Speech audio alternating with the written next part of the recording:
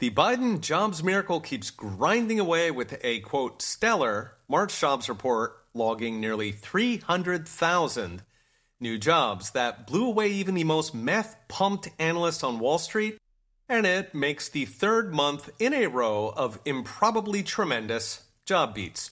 Just one problem it was all part time jobs. Full time jobs actually fell by 6,000 continuing a trend over the past year where full time workers have collapsed by almost a million and a half, replaced by nearly 2 million part time workers. Put them together, and presto, job growth. Sadly, what real jobs are left apparently did not even go to native born Americans. In fact, they lost precisely 651,000 jobs last month, bringing the three month tally to nearly 1.5 million jobs lost by the native born in three months. In fact, there's been literally zero job growth for native born workers since 2018.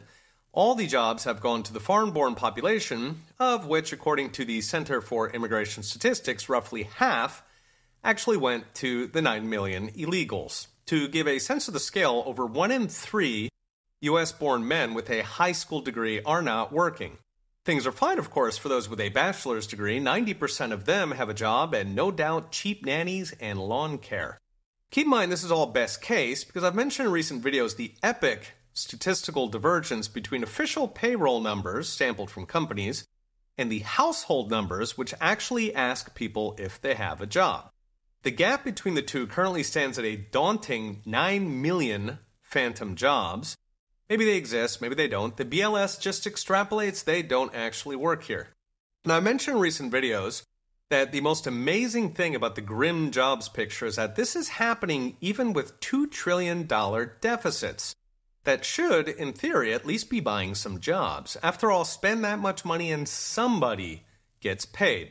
In other words, we can only imagine what's under the hood once you peel off the trillions pouring out of Washington. So what's next? Brought to you by Unchained.com. Given both the border and Washington's checkbook are wide open, expect yet more millions of migrants to boost the jobs numbers while holding down wage gains for natives who do still have a job. Just a few weeks ago, Jerome Powell actually bragged about this on 60 Minutes, crediting the open border for holding down blue collar wages, which he likes because it does the inflation dirty work for him. Of course, at the expense of those blue collar workers, or former workers, buying groceries on layaway while Paul Krugman lectures them about the Bidenomics miracle. Do not expect much relief, at least until the election, and even then it will be trench warfare against a uniparty that is addicted to the government spending, the regulatory jihad on small business, and the cheap imported labor that keeps jobs and wages under control. Okay, we'll be watching. See you next time.